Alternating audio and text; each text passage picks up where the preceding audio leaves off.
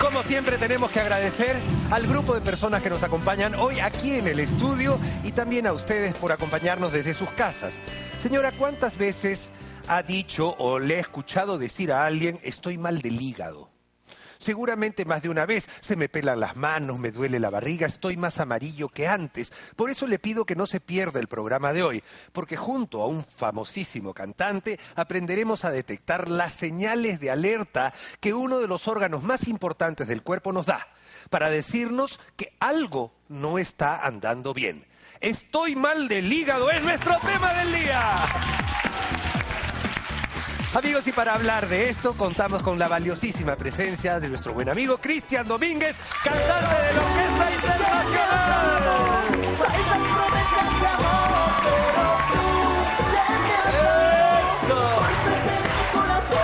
¿Cómo estás? Bien. ¿Cómo está, doctor? Qué increíble, ¿ah?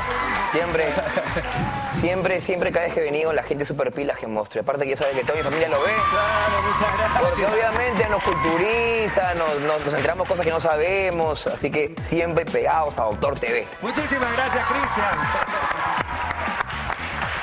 ¿Dónde queda nuestro hígado? Acá, acá. Acá, perfecto. Vamos a mirarlo porque yo- acá, amigo, vamos a ver. ¿ah? Yo sé bastante eso.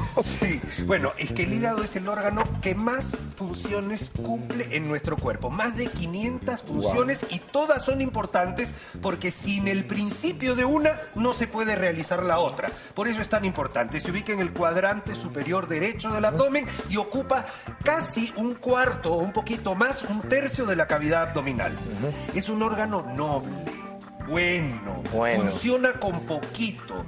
Tan noble es, mira, te digo una cosa, Cristian, que hay casos en los cuales un papá le puede donar la mitad de su hígado a su hijo si lo necesita Ah, y el hígado comienza a cumplir todas las funciones con ese pedacito que quedó. Es una cosa impresionante. Aparte que, eh, bueno, yo creo que el, el hígado es el que más le damos, o sea, más trabajo le damos. Exacto. No lo cuidamos, o sea, nosotros cuidamos el, el físico.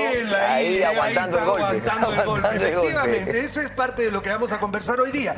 Porque un montón de cosas, hasta el aire que respiramos, también es filtrado por el hígado. Digamos, ver. a- a- todas las toxinas de nuestro cuerpo. Así que tenemos una demostración. Hoy día nos vas a hacer el gran favor de disfrazarte de hígado. ¿Qué te parece? Me parece genial, porque yo he sufrido del hígado de muy pequeño, ¿se acuerda? Sí, ¿Se acuerda sí, que sí, vinimos ha acá? comentado, hígado graso y todo lo demás, así que yo sé bastante del tema y me encanta, me encanta de que, que yo puedo dar también mi testimonio de que es importante cuidarlo, porque con el hígado bien, todo te va bien, así es. Perfecto, así es. Vamos. Así que te transformas en hígado. Por favor, Adelante, por favor, caballero. Vamos a ver, te ayudo. ¿Me ayuda? Claro, te ayudo, te ayudo. ¿Qué le parece? Eso. A ver, a ver. a Ojo ver. que no tiene nada que ver con, con de, de ser mal humor, ¿ah? nada. Nada. Yo no reniego nada. No, no, no. Tengo buen hígado por eso. Ahí está.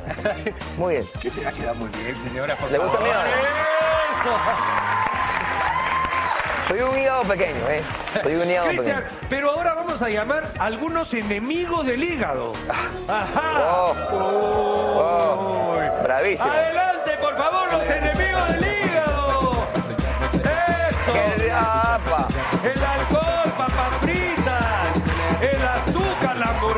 Hamburguesota tremenda, los cigarros, medicamentos. Eh, sobre todo ese. Este hígado va a pasar un fin de semana de rompe y raja. Ah, hermoso. Hoy te vas a vacilar. Perfecto. Le vamos a dar rienda suelta a ese holgorio de fin de semana.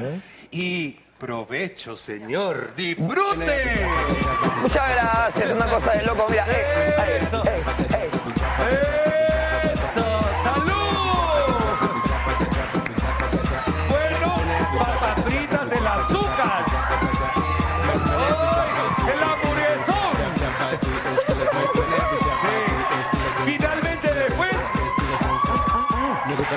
Qué riquísimo.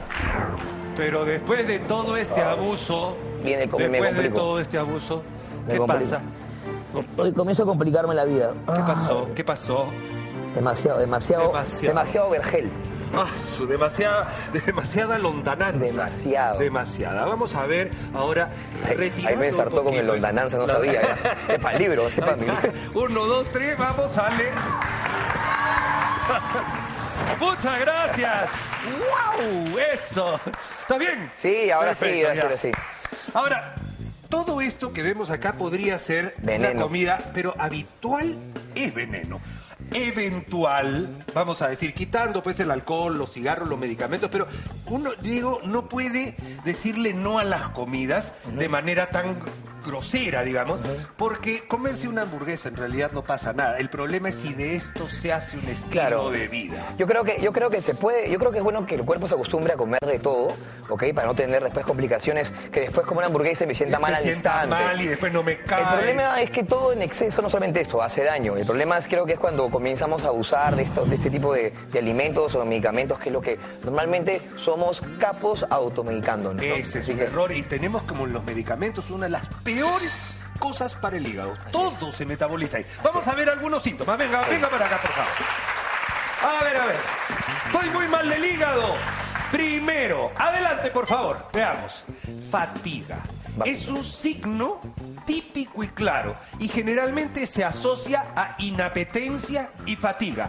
Cuando hay asco por la comida, Náuseas. náuseas Sí. y cansancio, ojo, Hígado. síntoma de alarma. No decimos que está enfermo del hígado, pero es un síntoma de alarma. Vamos a ver, siguiente síntoma de, de alerta, pesadez. Tú lo acabas de decir. Y eso es lo que sentías, ¿no es cierto? Una sensación de malestar general y que no tienes hambre. Algo que, pasa. que piensas que estás enfermo realmente y es que... O, o a veces también sientes que te late, ¿no? A mí me pasaba que me latía, o sea, que como Bueno, que eh, sentía. Eso ¿no? te explico por qué. Tú sabes que el hígado como hígado en realidad no duele. Hay una membrana, una cápsula que lo contiene, es una capsulita, una telita que cuando se estira duele. Eso es porque el hígado puede hincharse un poquito. Vamos a ver un tercer síntoma. Otro. Vómitos. Intolerancia a los alimentos. Puede pasar. Lo siguiente, por favor. Cuarto, diarrea. Sobre todo, además, hay diarrea que es pastosa, diarrea incluso que puede hasta cambiar de color. Síntoma de que el hígado pudiera estar siendo afectado. El otro, adelante, por favor. Heces pálidas. Tú sabes que el tinte que colorea las heces sale de la bilirrubina que se hace en el hígado, ¿de acuerdo? Hay un problemita por ahí, un problemita. Hay un problemita por ahí. Sí. Seguimos. Otro, por favor. Hinchazón, balonamiento, distensión, incluso puede haber retención de líquidos. Mm. ¿De acuerdo? Uno más. Tenemos acá, ese es el dolor, el, el que tú decías. ¿De acuerdo? Nos queda otro. Vamos a verlo. ¿Cuál es el otro síntoma? Ah, la, la ictericia. Ya cuando se presenta la ictericia, color pa- eh, amarillo Ah, de, de- de de manos, ojos. mucosas, hay que tomar medidas Ah, preventivas. Vamos a ver cuáles son las peores consecuencias.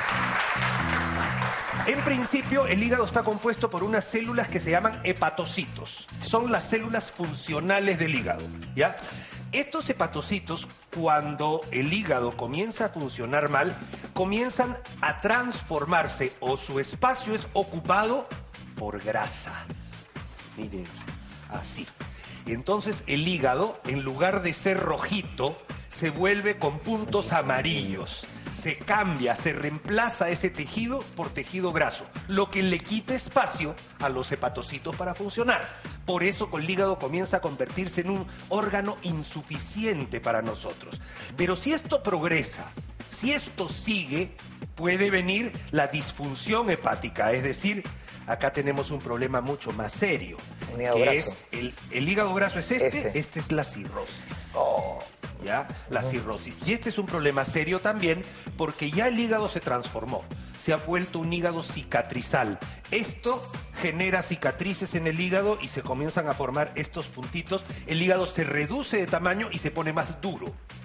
se va secando. Se va secando. Correcto. Y esto, si progresa y si sigue y pueden pasar cinco años más y si uno no toma las medidas, se puede convertir Un cáncer. en esto, efectivamente. Cáncer, hepatocarcinoma. Preguntas, diga usted. Cualquiera la que yo quiera. Sí. Vitaminas para que te pase todo esto. Sí, Existen. sí pueden favorecer. ¿Qué vitaminas sobre todo? Vitamina C y vitamina B. C por ser un antioxidante ayuda a mejorar el trabajo que tiene el hígado y la vitamina B ayuda como desintoxicante del hígado. Pero no es magia. Tiene Claro. que venir acompañado de un cambio, un estilo de vida. Es- Es, es bueno, ya que estamos hablando de, de personas jóvenes, es bueno que antes de hacer ese tipo de, de, de- o de pasar una noche como la que hemos pasado hace un momento, Así es. de excesos, es bueno medicarse antes con una prevención, o sea, para que no sea después más fastidioso en la No está recuperación. probado eso, Cristian, ¿No? ¿No? está probado. Sabemos que por una enfermedad de joven, de chico, al final quedó como un hígado graso en un estadio inicial. Eso se maneja. Ahora, ¿cómo sigue? ¿Te has hecho o has vuelto a hacerte un chequeo hepático? Claro, me lo voy a hacer, claro que sí, está controlado, gracias a Dios, perfecto. Eh, mis transaminasas están otra vez en sus, en sus, En sus niveles normales, eso Era lo que me fastidiaba a mí un poquito y ahora pues muy contento por eso. Por eso que me gusta mucho el tema del hígado porque yo sufrí mucho, o sea, es decir, con los medicamentos, las dietas, todo, de muy joven. Entonces para mí lo que hemos visto acá, yo, yo dejé de hacerlo de muy joven, no, no, no, no conozco mucho la vida nocturna en ese sentido porque tenía miedo por mi hígado. Pero ahora tomo, tomo mucha silimarina, vitaminas, complejo B, pero ya una cosa preventiva, ¿no? Para... Perfecto, de eso se trata. Vamos a ayudar a nuestros amigos también a, a proteger nuestro hígado con ciertos alimentos que son desintoxicantes para el Ah, hígado. correcto. ¿Qué te parece? Por Vamos a verlos. Eh. Acá los tenemos. aprender a